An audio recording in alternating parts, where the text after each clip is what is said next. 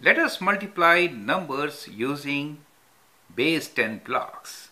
So we have 24 times 3 and 14 times 3. I'll do one of them and you do the next one yourself. Okay, this one is kind of tricky. So let's do it. 24 times 3 really means what? It means three groups, right? Three groups of 24.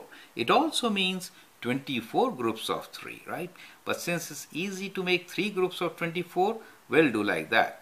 And 24 can be written with base 10 blocks, correct? 2 tens and 4 ones. And we'll make 3 groups of 24. That means 3 groups of 2 tens and 4 ones. Let's do it. 2 tens and 4 ones. Okay, that's 24. Group number 1. One more. Group number 2. And here is my third and final group to make it 24 times 3. Let's count. What number do we get? Let's count with ones, right? 1, 2, 3, 4, 5, 6, 7, 8, 9, 10, 11, 12. We get 12 ones. How about tens? 1, 2, 3, 4, 5, 6. 6 tens. So 6 tens and 12 ones, what number is it? Let's write and figure it out. 6 tens means 60, right? 12 ones means 12.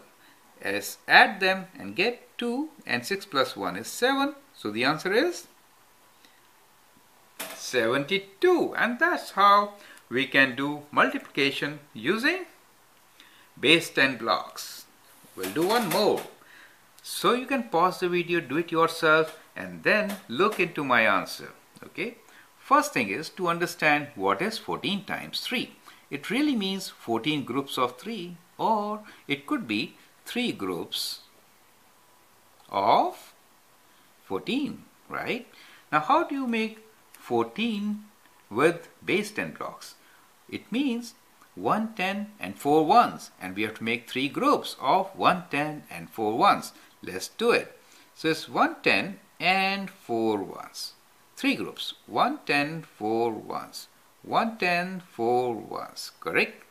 So we have 3 groups of 1, 10 and 4 ones. What number is that? Let's count. 1, 2, 3, 4, 5, 6, 7, 8, 9, 10, 11, 12 ones.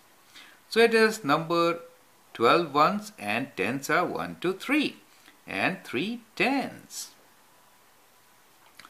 12 ones and 3 tens. Okay, let's write and figure out how much do we get. 3 tens is like 30, right? And 12 ones is just the number 12. When you add, you get 42. That's what you get. 42 is our answer. That's so simple. So I hope you understand how to multiply using base 10 blocks and you're really enjoying having fun. Let's do one more. Thank you.